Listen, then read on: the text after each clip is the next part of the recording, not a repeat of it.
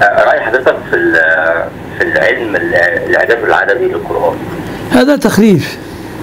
نعم فندم؟ تخريف. الله آه يعني واحد يقول لك مثلا سورة الحديد وأنزلنا الحديد فيه بأس شديد. كلمة الحديد مثلا جاءت فيها 57 وبروتونات الحديد مش عارف 57 والإلكترونات الحديد كذا كذا. كله من التخريف والتخرص. ومن اللطيف أن أذكر بكلام ابن حزم في هذا الصدد. أن ابن حزم الأندلسي صاحب كتاب المحلى كان يناقش مسألة ليلة القدر. متى هي؟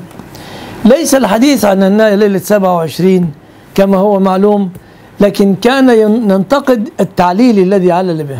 فقال فيما يقول ذهب بعضهم إلى, إلى أن ليلة القدر ليلة السابع والعشرين مستدلا بماذا؟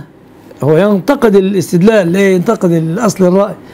بأننا إذا عددنا إن أنزلناه في ليلة القدر. سنجد سلام هي رقم 27 قال ابن حزم مثل هذا القائل ينبغي أن نأتي بمطرقة عظيمة من حديد ونهشم بها رأسه حتى لا يعبث القرآن مثل هذا العبث.